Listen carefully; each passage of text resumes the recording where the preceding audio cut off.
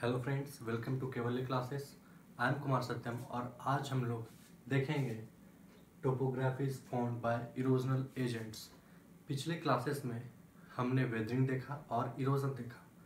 Erosion के साथ साथ हमने देखा था कि कितने टाइप के इरोजन हो सकते हैं। क्या क्या एजेंट्स हो सकते हैं? ये हमने पिछले क्लास में डील किया था। इस क्लास में हम लोग देखने वाले हैं कि जो हमारे रिवर्स हो गए या फिर अदर विंड्स हो गए या ओशियनिक करेंट्स हो गए, इस तरह के एजेंट्स क्या क्या आकृतियाँ टोपोग्राफिस का फॉर्मेशन करते हैं।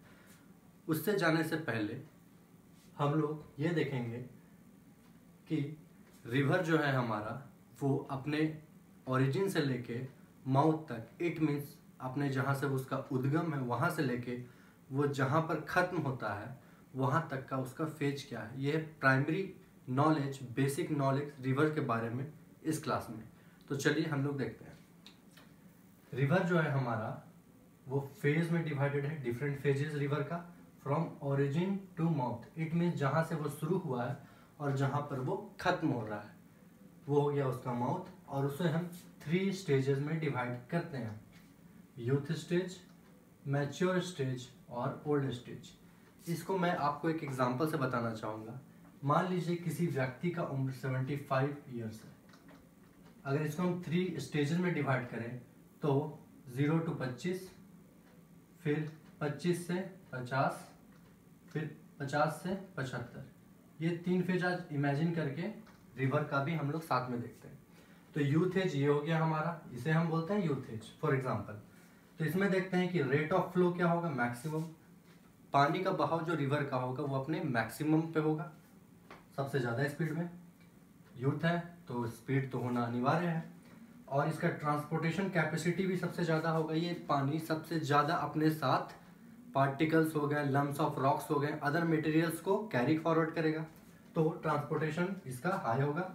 इसका ट्रांसपोर्टेशन होता है आपका transportation capacity velocity to the power six जो पानी का वेलोसिटी है, उसका सिक्स पावर वर्टिकल इरोजन इसमें होता है, यानी deepening of valley it means ये इस तरह का इरोजन ज़्यादा करता है। इट मीन्स ये डीप ज़्यादा इरोड करता है। डीप ज़्यादा वो तक जाता है। तो वर्टिकल इरोजन में यूथेज हमारा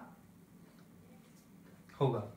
यूथ एज में जब रिवर होगा तो हमारा ये सब होगा। Rate of flow maximum transportation capacity आए और वर्टिकल इरोजन होगा। अब आते हैं हम लोग मैच्योर एज में। मैच्योर थोड़ा मैच्योर्ड हो गया है। अब उतना फास्ट रहा नहीं। Means twenty five to fifty का एज हम एग्ज़ाम्पल लेके चलते हैं। तो हम देखते हैं। ये इंटर करता है स्लोप से प्लेन में। अब ये स्लोप में आ रहा था। अब ये कहाँ जा रहा है? प्लेन में। स्लोप से प्लेन में आ गया। शांत हो गया। इसका ट्रांसपोर्टेशन कैपेसिटी बिकम्स लो थोड़ा सा कम हो गया है as compare to youth age.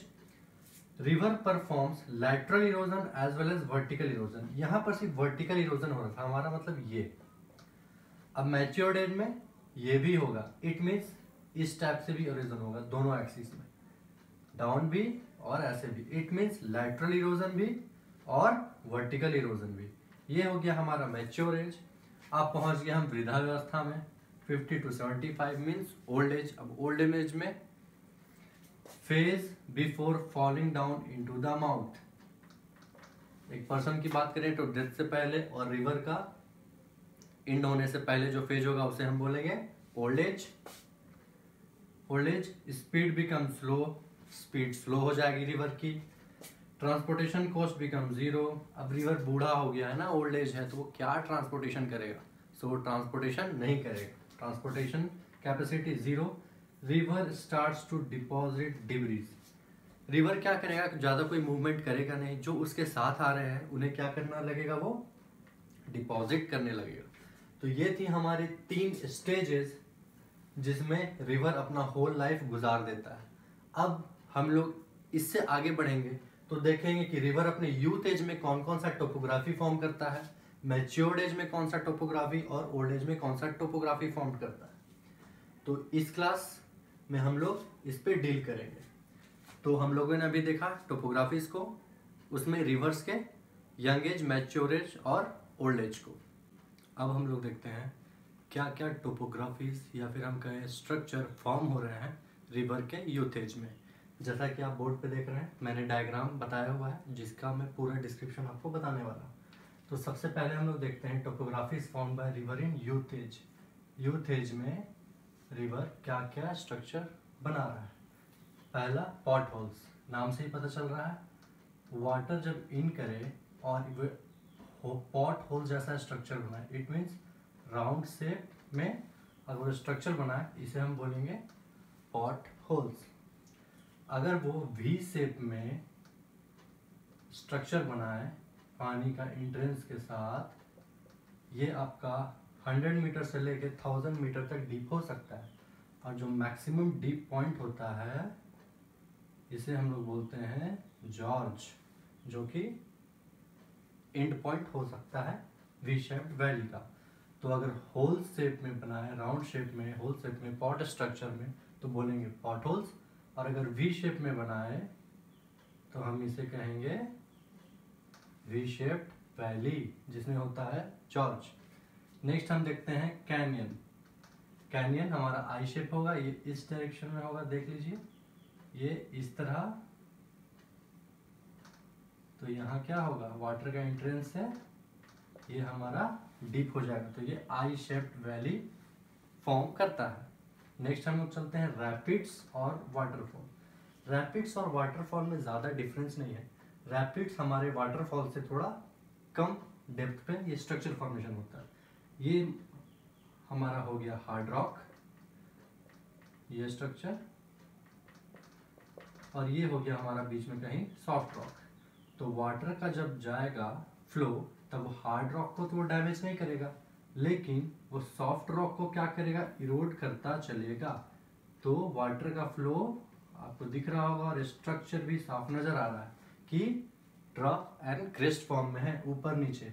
तो ऐसा स्ट्रक्चर बनने पे हम बोलते हैं, ये हो गया हमारा रैपिड्स लास्ट स्ट्रक्चर जो यूथ एज का है, वो बोलेंगे हम वाटरफॉल मीन्स हमारा रॉक्स ऐसे है।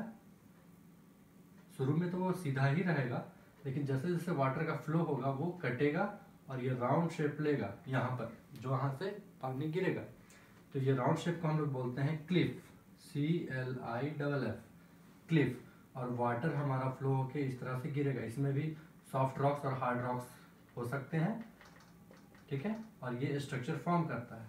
तो रैपिड्स हो गया हमारा, कम डेप्थ का स्ट्रक्चर के साथ, और वाटरफॉल हो गया हमारा ज़्यादा डेप्थ स्ट्रक्चर के साथ। ये था पाँच टोपोग्राफी जो यूथ एज में फॉर्म होता है pot holes V shape valley canyon rapids और वाटरफॉल आज की क्लास यहीं तक है।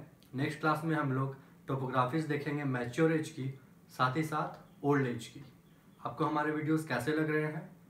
ये हमें कमेंट बॉक्स में ज़रूर बताएँ। साथ ही लाइक करें सब्सक्राइब करें और शेयर करें.